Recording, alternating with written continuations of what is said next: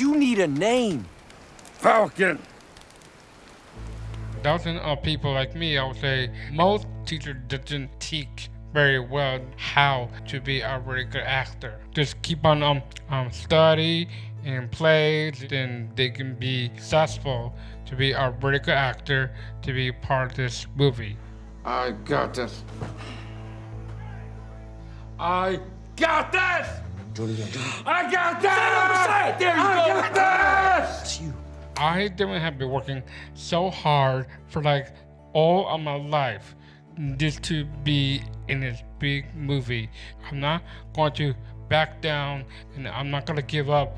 Keep on trying and do a very hard work to prove those teachers will understand how those children can be a real good actor. That's how I always became of the peanut butter falcon.